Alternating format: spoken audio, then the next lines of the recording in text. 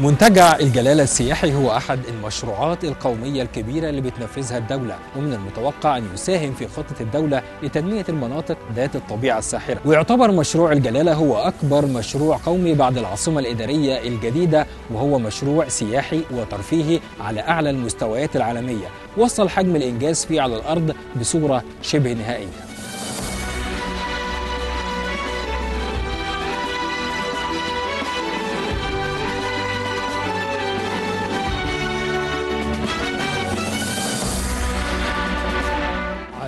ساعتين من محافظة القاهرة وتحديدا بمنطقة العين السخنة بمحافظة السويس.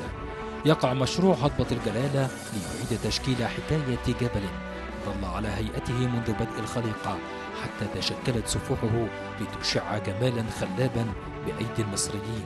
قرابة الخمس سنوات من العمل الشاق والدؤوب احتضن المشروع أبهى الأماكن السياحية المتفردة التي أعادت صياغة الجبل بمشروع منتجع الجلالة السياحية الذي يقام على شاطئ خليج السويس بمنطقة رأس الدرج.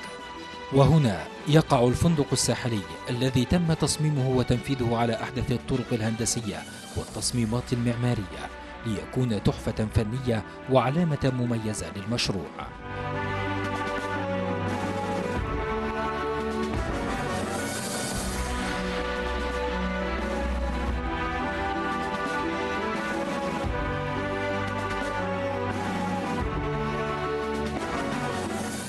في الفندق الساحلي آه، وده من ضمن مكونات منتجع الجلالة السياحي.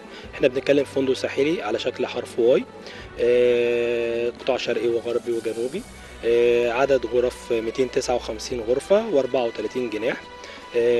عندنا الفندق الساحلي بيتكون من عدد اتنين مطعم متخصص وعدد مطعم رئيسي آه، ومطعم آه، على على حمام السباحة.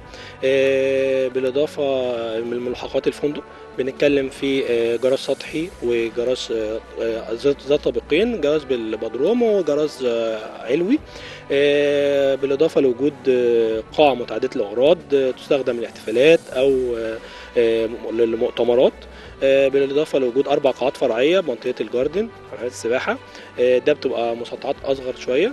آه، الفندق الساحلي عندنا برضو من مكوناته بيوجد بيه نادي صحي خدمي لل- للفندق الساحلي. بنتكلم بعد كده في منطقة الجاليهات والفيلات الفندقية.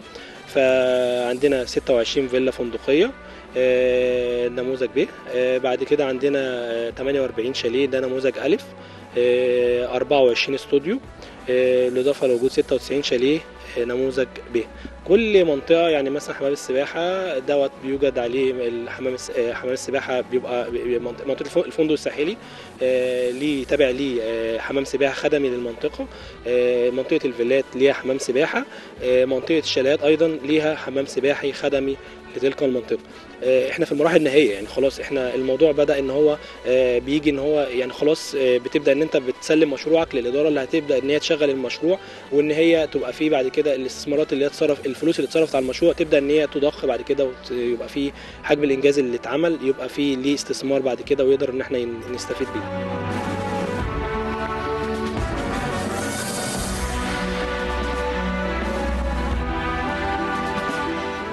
يقف الفندق الجبلي متفردا الذي يرتفع على مستوى سطح البحر بستين مترا ويحوي 272 غرفة و26 جناح و16 غرفة لاستخدامات اليوم الواحد وأربع غرف لذوي الاحتياجات الخاصة إضافة إلى مئات الغرف السياحية والفندقية المجهزة على أعلى مستوى. واجهة الفندق الخلفية بتطل على الجزء الجبلي اللي هو في اللي إحنا واقفين فيه ده المدخل الرئيسي للفندق.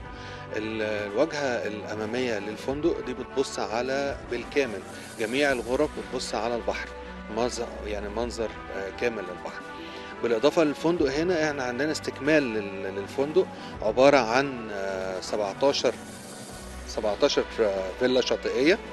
آه، وبالإضافة لكده في عندنا 12 عمارة. آه، ال 12 عمارة دي فيها شاليهات مجموعة من الشاليهات بالإضافة لمجموعة من الفيلات الأخرى بيتم تنفيذها. المشروع تم تنفيذه في وقت قياسي في حوالي سنتين ونص. يعني تم تنفيذه بسرعة أكتر من المعتاد آه في المعتاد في في, في نفس نوعية المشروعات دي. إحنا نفذناه في الحمد لله في حوالي سنتين ونص أهو وإن شاء الله في التسليم في خلال يعني في وقت قريب جدا يعني. وتضم أيضا المرحلة الأولى كل من مدينة الألعاب المائية وممشى الدراجات الهوائية ومارينا اليخوت والمنفذ البحرية والمركز الترفيهي ومحطة التلفريك ومجمع المطاعم والهايبر ماركت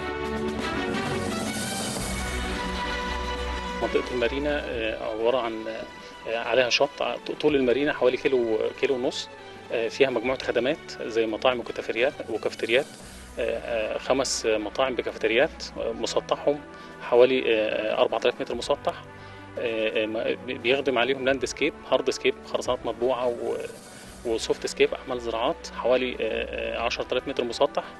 ال- المارينا دي بتخدم ال- اليخوت بمبنى ألف بمنطقة بمبنى الجوازات آه، اتعملت في- ال- المباني الخدمية دي اتعملت في حوالي سبع شهور. اتعملت في وقت قياسي جدا. آه، طبعا من ضمن أعمالنا برضو هنا في في في في المنتجع الساحلي عندنا مبنى آه، واو ده hyper الجلالة حوالي 16000 متر مسطح. آه، في مجموعة محلات وبرضو مطاعم هايبر ماركت. العمالة اللي يعني تقريبا كده رقم تقريبي العمالة اللي اشتغلت هنا حوالي قد إيه؟ متوسط العمالة اللي اشتغلت معانا في في في الفترة اللي إحنا اشتغلناها هنا كشركة واحدة آه، آه، بيقرب من حوالي 1000 عامل بما فيهم مهندسين ومحاسب وكل كل فئات العمالة وفوق سطح البحر بحوالي 700 متر. كانت مدينة الجلالة ترسم لوحات جمالية مختلفة من خلال الإنجاز في البناء بالقرية السياحية والمطاعم المختلفة بالإضافة إلى كورنيش متاح لجميع المواطنين المصريين. لو اتكلمنا عن المراحل الشبه النهائية نقدر نقول كام في المية آه، حتى الآن؟ يعني إحنا وصلنا في المدينة السياحية هنا تقريبا لحوالي 95% يعني الفندق بالكامل خلصان بالغرف بتاعته جاهز على بعض التاتشات إنها تسكن. المطاعم المتخصصة الشاليهات المباني التاون هاوس كله خلاص خلصان. حمامات السباحة يعني إحنا بنتكلم في 5% نقول آه، وقت بسيط جدا إن شاء الله يكون المشروع جاهز لل- آه، للتشغيل نظرتك بقى يا باشمهندس دي حاجة يعني آه، عايز أعرف رؤيتك. لما جيت المشروع في الأول بصيت على جبال ودلوقتي شعورك إيه؟ إحساسك إيه؟ آه، من من من يعني إحنا كمهندسين بنعتز تماما إنك أنت تكون داخل في مشروعات فيها تحدي. فالمشروع أساسا كله تحديات. وتحديات تبدأ من إن الغربة إنك أنت سايب أهلك وناسك.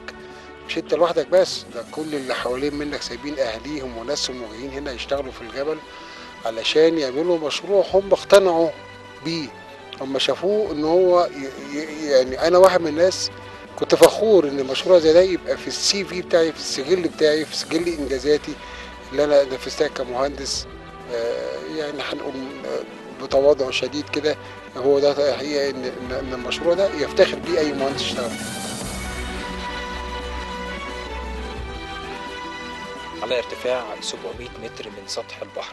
نتكلم على منطقة الكورنيش وال- والفيو اللي إحنا شايفينه المنظر الجمالي البديع اللي إحنا شايفينه. كلمنا أكتر عن تفاصيل الكورنيش طوله قد إيه بيحتوي عليه آه والله أنا عندي الكورنيش الجبلي آه طوله تقريبا آه ستة كيلو آه عرضه عش- خمسة وعشرين متر. آه في ممشى السيارات وفي عندي أحواض زراعية وفي عندي ممشى للدراجات. وممشى للأفراد عادي. وفي حوالي ست مطاعم آه food outlet أو مطاعم الوجبات السريعة وعندي في مسجد على الكورنيش. وفي عندي اتنين آه مطعم متخصصة كدور حجم ال- لو اتكلمنا عن حجم الكورنيش واخد أكبر متهيألي أكبر مكان موجود في ال- في المدينة ولا؟ هو فعلا طوله كبير جدا. بس عشان يخدم بس على بقية ال- القرى التانية اللي مطلة عليه. عشان كمان حتى اللي بيبقى عايز يطلع يترفه شوية أو ياخد جو كويس بعيد عن المدينة اللي هو قاعد فيها أو القرية. بيقدر ياخد راحته ويشوف الفيو اللي هو شايفه اللي إحنا شايفينه دلوقتي الجبال البحر المنتجع تحت. فده بيبقى سهل كويس أو بيبقى بيدي راحة نفسية أو للنزيل هنا في في الجلالة هنا أو فضل الجلالة.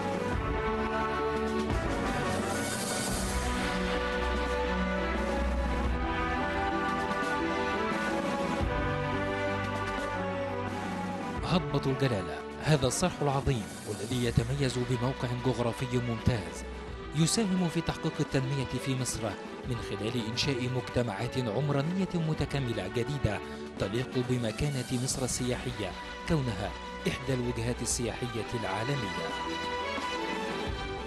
رمضان المطعمي النيل.